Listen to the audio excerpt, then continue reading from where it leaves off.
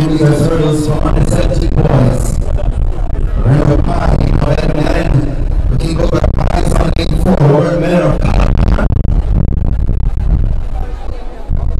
As they saw that back stretch, cars, mirror, certainly closing in. Pi, the living Adam, holding on for dear life. As they come closer, room falls. But Calabar's Miller. Consistently with that lead. Pine. The distant. Williams of St. George's College has some more work to do. Will he catch the gentleman from Calabar, Robert Miller?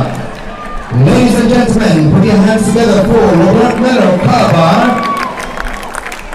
Taking this one ahead of Williams of St. George's.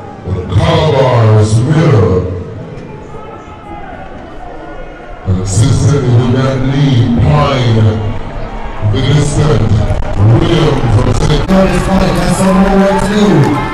Will he catch the gentleman from Calabar, Robert Miller? Ladies and gentlemen, put your hands together for Robert Miller of Calabar.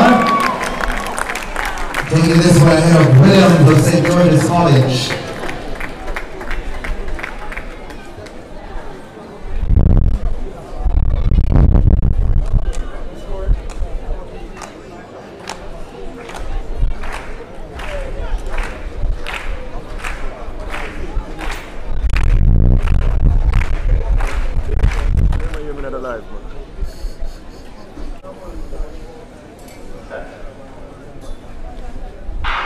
Everything goes on for the under 20 boys 400 meter hurdles finals.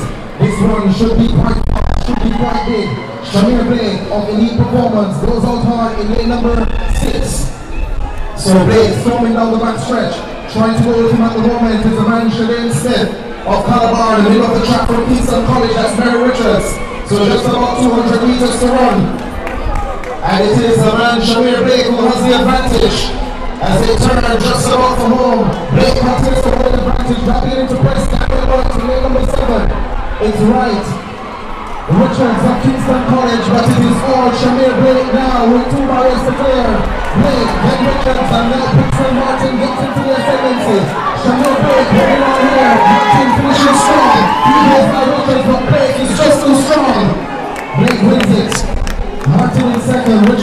third. 50.93. It's right. Richards of Kingston College, but it is all Shamir Blake now with two barriers to clear. Blake, then Richards, and now Pixel Martin gets into the ascendancy. Shamir Blake holding on here. Martin finishing strong. He has by Richards, but Blake is just too strong. Blake wins it. Martin in second, Richards in third.